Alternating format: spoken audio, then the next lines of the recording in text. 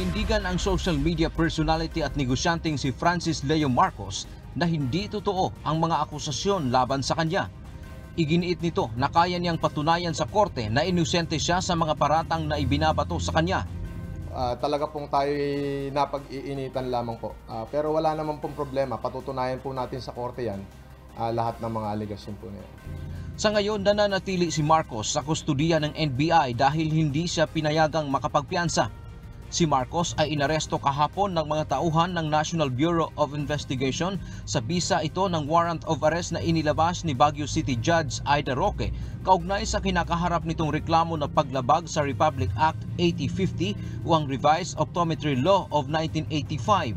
Ayon kay NBI Deputy Director Attorney Ferdinand Lavin, bukod sa paglabag sa optometry law, sinampahan rin ng NBI ng kasong paglabag sa Anti-Human Trafficking in Persons Act si Marcos noong 2006.